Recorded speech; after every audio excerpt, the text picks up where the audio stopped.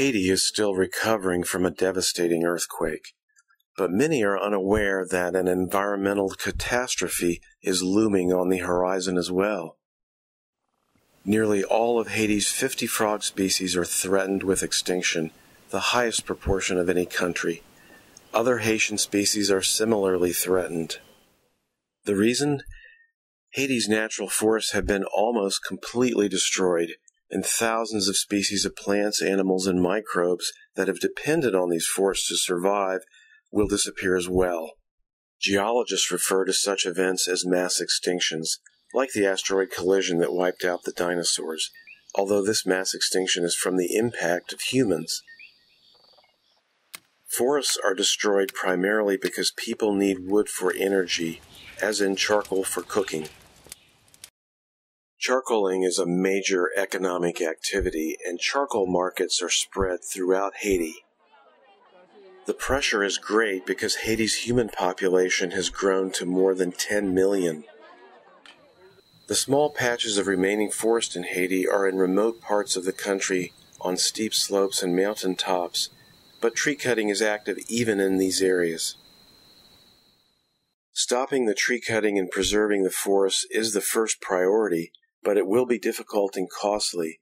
Park guards are overwhelmed by tree cutters within the national parks. This park guard commander at Macaya National Park, the hotspot of frog diversity in the Caribbean, tells us that about 200 teams of tree cutters operate in the park on any given day, each armed with weapons. Yet there are only 10 guards for the entire park, and they have no weapons. Foreign aid has not yet targeted this fundamental, immediate problem in Haiti. This dire situation requires a backup plan to save Haiti's frogs. One such plan is to keep and breed the species in captivity for future release in Haiti when and if the habitat improves. Recently, Penn State, the Philadelphia Zoo, and the Audubon Society of Haiti have joined in a collaboration to do just this. They have successfully established captive populations of 10 Haitian species, all critically endangered. Most of the species came from Macaya National Park, and specifically from Peak Formon. So what we're doing is we're collecting a small series to bring back to zoos in the United States, including the Philadelphia Zoo, to do captive breeding, uh, to eventually uh, uh, get a, a, population going that can be used to reintroduce uh, animals to uh, back to the mountain. Um, when the, the forest uh, uh, gets better. That is, there's less cutting. Right now it's a national park, but much of it has been cut over and they're continuing to cut and eventually it'll disappear.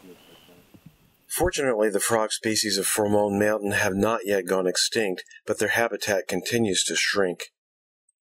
So we're trying to find frogs that have not been seen for, for a while and create assurance populations of them in captivity at the zoo as a sort of a backup plan for nature. If nature fails here in Haiti and the frogs become extinct, in the wild, the species would not have been lost forever. We'll still have it at the zoo, and we can use that uh, program to introduce the frog back into, into the wild.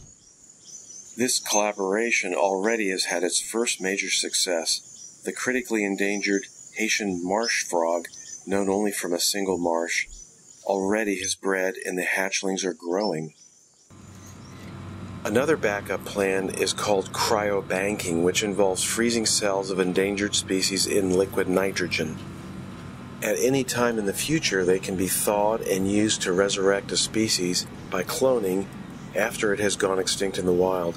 A cryobank has been established now at Penn State for endangered Haitian frogs and other Caribbean species. Backup plans are critical, but the most immediate conservation action needed in Haiti is for tree cutting to stop. It is still not too late to save much of the rich biodiversity of this country, but only if resources are directed towards this goal and action is taken quickly. Remarkably, new species of frogs, like this one discovered on a recent trip, are being found even as the last forests are disappearing, indicating that the scope of the species extinctions is even greater.